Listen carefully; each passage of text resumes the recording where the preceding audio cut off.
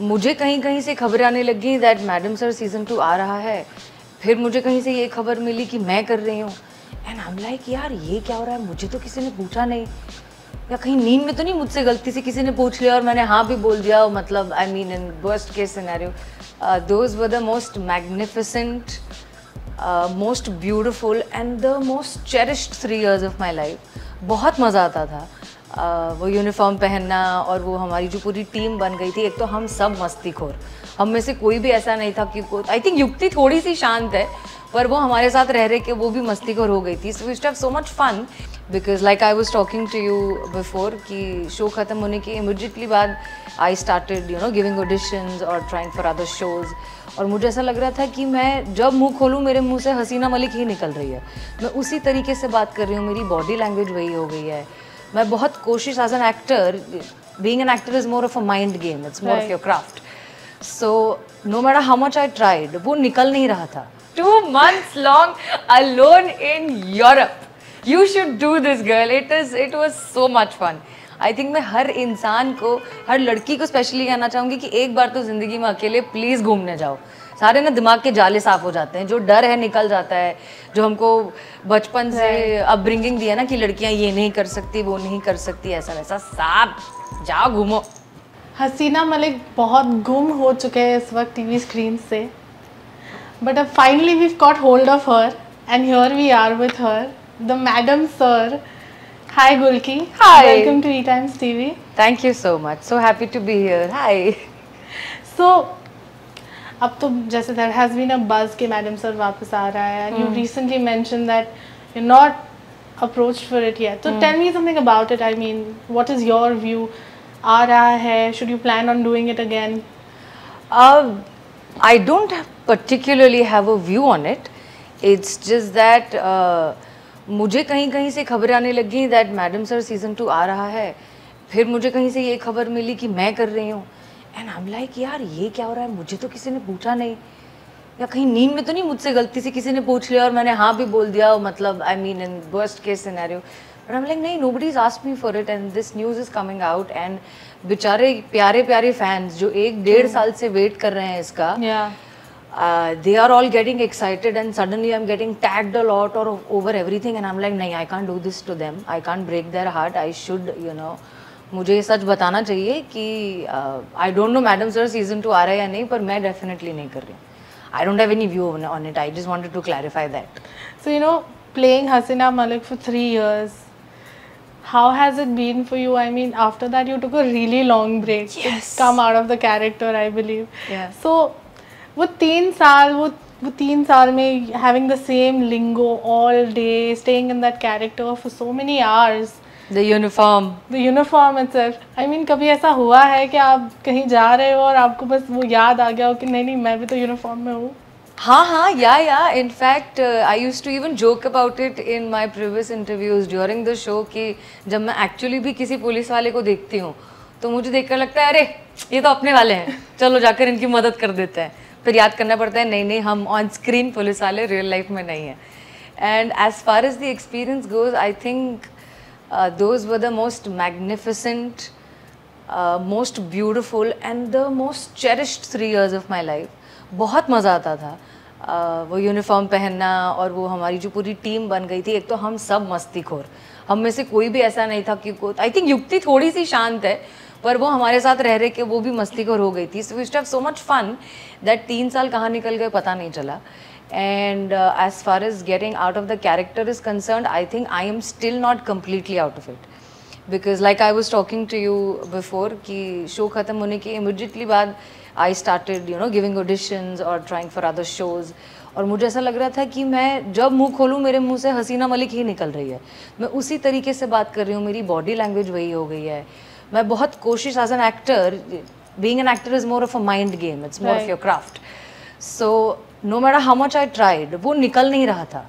तो I think the best solution is कि अभी ज़रा इसको ब्रेक दिया जाए थोड़ा सा वक्त दिया जाए खुद को भी। तीन साल जो आपने मेहनत की है Totally. अ, जो आपने जितना कमाया है उसको आप इंजॉय तो कर लो पहले फिर कर लेंगे काम। So I think that started off with my break and I think वो ब्रेक में मुझे इतना मज़ा आ गया कि उसके बाद आ, मैंने थिएटर भी कर लिया मैंने ये भी कर लिया। अब टेक्निकली ऑनेस्टली टेलीविज़न की मुझे it's been more than six months so you know जैसे यू जस्ट सेट के थिएटर भी कर लिया you went on a tour you went on long trip yes longest two months long alone in Europe you should do this girl it is it was so much fun I think मैं हर इंसान को हर लड़की को specially कहना चाहूँगी कि एक बार तो ज़िंदगी में अकेले प्लीज़ घूमने जाओ। सारे ना दिमाग के जाले साफ़ हो जाते हैं जो डर है निकल जाता है जो हमको बचपन से अपब्रिंगिंग दिया ना कि लड़कियाँ ये नहीं कर सकती वो नहीं कर सकती ऐसा वैसा साफ़ जाओ घूमो। So, what was your favorite part of the trip? मतलब कौन सी ऐसी जगह आपको लगी कि यार यहाँ रह जाते हैं अब थोड़े टाइम के लिए बहुत सही है माहौल Oh, अच्छा है? आई थिंक यार ये बहुत मुश्किल सवाल है क्योंकि मैं थक गई थी और मेरे घर वाले बोल रहे थे वापस आ जाए इसलिए मैं वापस आई हूँ। वरना आई थिंक मैं और दो महीने घूमती आराम से। मैंने स्पेन पूरा छान मारा and I love the people I love their food the culture is very similar to ours मतलब हम लोग जैसे बहुत एनिमेटेड हैं और लाउड हैं और बहुत फैमिली ओरिएंटेड है। That's exactly how they are and तो वहाँ वो बहुत मज़ा आया। I think the thing the part that I love the most about the trip the that I did not plan it. मैंने बस यहाँ से वन वे टिकट कराई एक जगह का। ओह। या एंड मैंने वहाँ के सोचा कि वहाँ जाने के बाद डिसाइड करेंगे कि अब कहाँ जाना है। And I have never done that before I have never had such an unplan trip हम बॉम्बे में हम इंडिया में ऐसी अनप्लान ट्रिप प्लान नहीं नहीं सोच सकते। सकते। मैंने कहा ये रिस्क तो ले लो ज़िंदगी में. यहाँ से पुणे जाने के लिए भी हम सी सब बुक करेंगे कि एग्जैक्टली Exactly. स्टे देयर वहाँ से इस कैब में जाना है यहाँ से इस ये बस पकड़नी हाँ।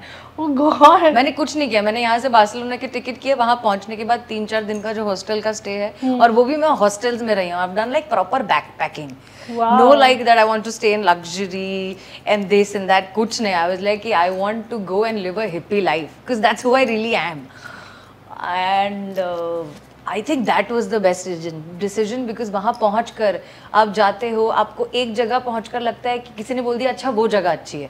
फिर आप वो जगह चला जाते हो कोई बोलता है वो जगह अच्छी है। फिर अब ऐसे करते करते मैंने 20-25 दिन सिर्फ़ स्पेन में ही बिताए हैं और मैंने पूरा उसका सी साइड कंट्री साइड पूरा घूम लिया। एंड आई वॉज़ लाइक कि बस अब थोड़े दूसरे देशों को भी मौका देना चाहिए। Then I went to France and then so I think Spain would be the next space if if we see कि अगर गुल्की का मन इंडिया से ऐसा उब चुका है हाँ। तो we have to search for you we have to search for you in Spain No, no. If you want to search for me next, you should probably look for me in either Switzerland or Italy. Oh. Because uh, वो मैंने नहीं किया था मैं थक गई थी मैंने कहा अब चलो अब घर चलते हैं but otherwise that was the plan तो कुछ कंट्रीज़ बाकी है अभी भी हाँ हाँ कुछ अरे कितनी पूरी दुनिया बाकी है अभी तो अभी तो बहुत बाकी है so apart from uh, you even you even explored spaces in India as well for some Yeah. time. So what has changed in this this break that you know what is the new change in Gulki that we are seeing? Well it's not a new change but I think कुछ uh, मेरे beliefs हैं जो और पक्के हो गए हैं मेरी कुछ मेरे कुछ थियोरीज और कॉन्सेप्ट्स हैं ज़िंदगी को लेके जो और अब ज़्यादा रिफाइंड हो गए हैं। And the first and foremost being is that everything is temporary चाहे वो सक्सेस हो चाहे वो फेलियर हो चाहे वो खुशी हो चाहे वो दुख हो चाहे वो रिश्ते हो चाहे वो पैसा हो चाहे वो पैपराजी हो चाहे वो कुछ भी हो everything is temporary the only thing that is permanent is you yourself because आप पैदा हुए और आप आप ही मरने वाले हो।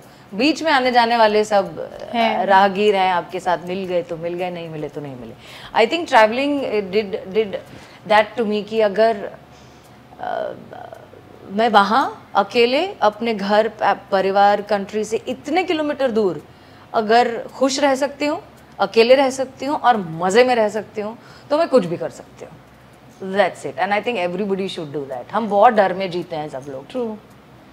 Any any dish that you know you brought back के अब तो ये this is one add, add on to my staple from your trip. Any one dish any one dish काफ़ी होगी आपने एक्सप्लोर तो काफ़ी किया होगा। यार um, मुझे अभी याद नहीं आ रहा है बट uh, यार क्रॉसॉन यहाँ पे इंडिया में उसको क्रॉसॉन्ट बोलते हैं। बट वहाँ फ्रेंच लोगों ने मुझे सिखाया दैट इसे खोसा बोलते हैं। So I think that's one thing that I would love to learn to make now because but वो जो वहाँ खाए हैं वो यहाँ मिलना मुश्किल है। खुद बनाऊँगी मैं तुमको बुला लूँगी अगर मैंने कभी खुद बनाए तो। इट्स गुड ना you'll you'll have a new skill to add on Oh yeah, it's apparently a very difficult thing to make. Yes. Yeah, man. Baking मैं itself फिर is फ्रांस very चली difficult. जाऊँगी हम चल लेंगे फिर से वहाँ हम वहाँ जाके खा लेंगे ठीक है so you know coming to theater Yeah.